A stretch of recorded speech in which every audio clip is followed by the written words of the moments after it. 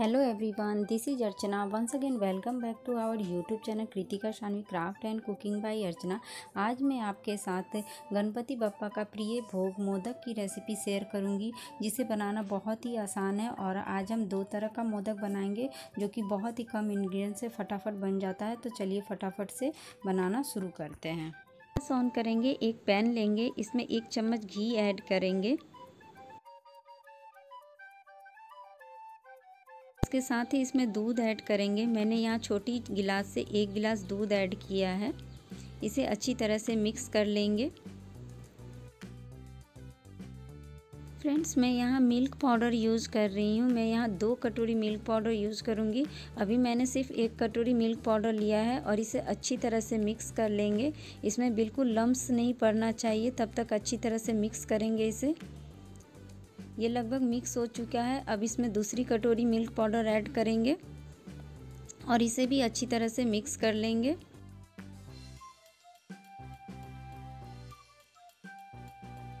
इसे मिक्स करते हुए थोड़ी देर के लिए पकने देंगे अच्छी तरह से।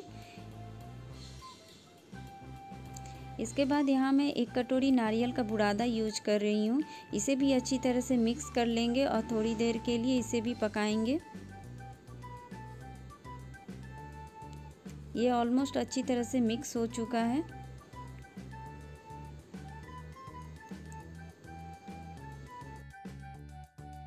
साथ ही मैं यहाँ पे पीसी हुई चीनी ऐड करूँगी। यहाँ मैंने पाँच चम्मच चीनी लिया है। चीनी आप अपने स्वाद के अनुसार कम ज़्यादा कर सकते हैं। इसे भी अच्छी तरह से मिक्स कर लेंगे इसमें।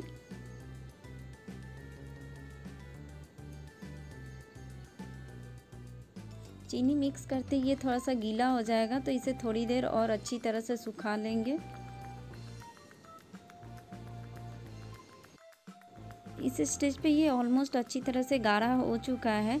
अब हम इसमें इलायची पाउडर ऐड कर देंगे और इसे भी अच्छी तरह से मिक्स कर लेंगे।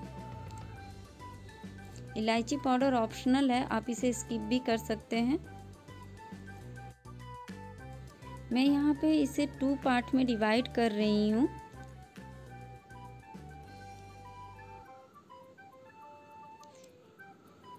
एक पार्ट को अलग कर लेंगे। एक प्लेट में इसे निकाल लेंगे।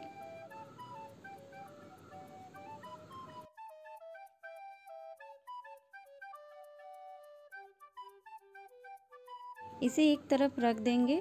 अब हम दूसरे पार्ट में थोड़ा सा कोको पाउडर ऐड करेंगे, एक चम्मच के करीब, और इसे अच्छी तरह से मिक्स कर लेंगे।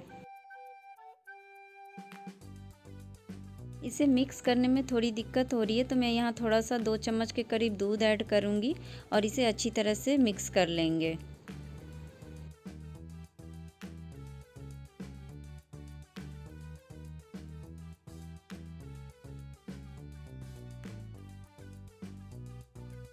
इस टाइम पे ये अच्छी तरह से बिल्कुल मिक्स हो चुका है। इसे थोड़ी देर के लिए और गाढ़ा कर लेंगे।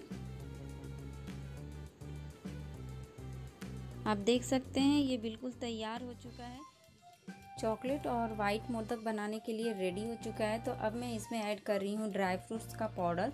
अगर आप चाहें तो इसमें ड्राई फ्रूट्स को बारीक काट कर भी डाल सकते हैं। मैं यहाँ इस पाउडर ही यूज़ कर रही हूँ। अब हम इन दोनों को अच्छी तरह से मिक्स कर लेंगे। मैंने यहाँ इन दोनों को अच्छी तरह से मिक्स कर लिया है। तो अब हम फटाफट से मोदक बनाना शुरू कर मेरे पास ये मोदक का मोल्ड है तो अब हम मोल्ड के द्वारा मोदक बनाना शुरू करते हैं तो इसमें हल्के हल्के हाथों से प्रेस करते जाएँगे ताकि ये अच्छी तरह से फील हो जाए। और जो भी साइड से एक्स्ट्रा पार्ट निकलेगा, उसे निकाल देंगे रिमूव कर देंगे। इसे हल्के हाथों से निकाल लेंगे बाहर। आप देख सकते हैं, मोदक कितनी अच्छी तरह से बनकर बिल्कुल रेडी हो चुका है। बहुत ही आसान है इसे बनाना। एक और मैं आपको बनाकर दिखा देती हूँ।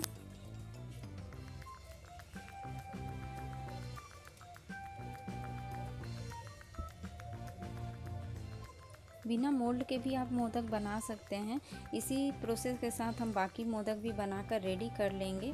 तो ये चॉकलेट मोदक हमारा बनकर बिल्कुल रेडी हो चुका है। तो यहाँ मैंने चॉकलेट सारे मोदक बनाकर रेडी कर लिए। अब हम वाइट मोदक बनाते हैं। तो वाइट मोदक के अंदर मैं थोड़ा सा ड्राई फ्रूट्स बारीक काट कर ऐड कर रही हूँ।